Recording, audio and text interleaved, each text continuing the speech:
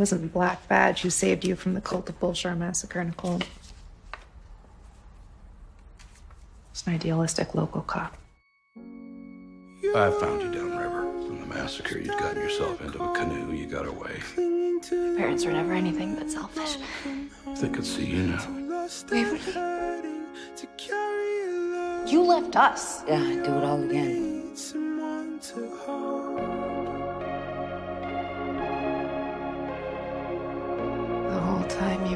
Sacrificing everything for us.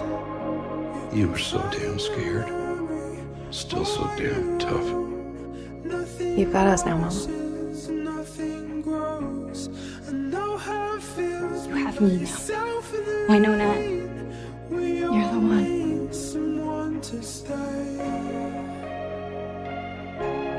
You left. You abandoned us. You abandoned me. I'll tell you what I did. I was a mom, and you'd have done the same thing. I'm so damn proud. What you, you two girls created. You're like a daughter to me. Waverly needed her mother. I needed your mother. You.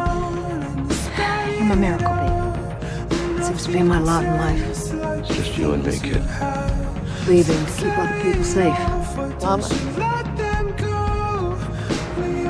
She's gone. I'm not going anywhere. Not if you really need me. Please know she really is free. That's nice. We just had Christmas together and it was so nice. I've been trying to make up for it ever since. I kept watch over you. I tried to set one owner hand straight now. That didn't work out. Thanks, Nedley. You did good. I'm a monster knows what you sacrificed to save us. You earned it. Let's get them back. Oh, fuck yeah. This family ain't perfect. And that's what's so great about it.